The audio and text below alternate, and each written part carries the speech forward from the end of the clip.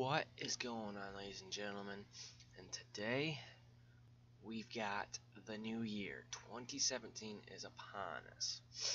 You know, it is amazing how fast 2016 went by. It just went whoosh, just flew by.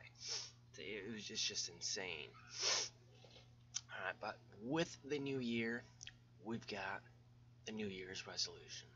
All right, for mine, I'm to be focusing more on YouTube. Alright, now, when I first started YouTube, I I haven't been really consistent. So I, I would just upload at random times during the day. Um, I mean, sometimes it'd be noon, sometimes it'd be 1, 5, 7, 8, you know, just whatever time I felt like uploading the video at the time. And I think that's personally hurting me more than anything um, and I also I've been uploading just at random days, not really being consistent. So I mean, I would you know upload it Sunday, then not until Friday, then next Monday. You know, just at odd times and not being really consistent at all. So what I'm going to do is upload on a regular basis at a specific time and hopefully hope for the best. Say at least every day trying to. I mean if it's not every day then at least every other day i think that will improve a lot and i'm going to spend a lot more time on youtube and really just growing my channel. Alright that is it for that one.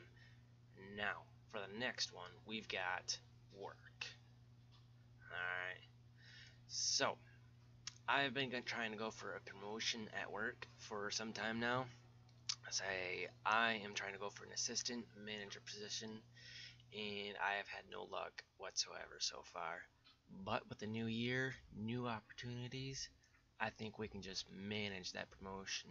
So I am going to try and go for that. I mean, literally, my boss has given me a lot of homework, like a big, big, big stack. Just, just check this shit out. Look at all this. Look at it. It's like it's like a textbook.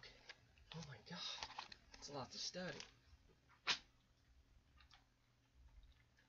But anyways, I'm gonna hope for the best, you know, I'm gonna study and just hopefully that I can get it and just hopefully that I reach that point in my job and yeah that's my New Year's resolution.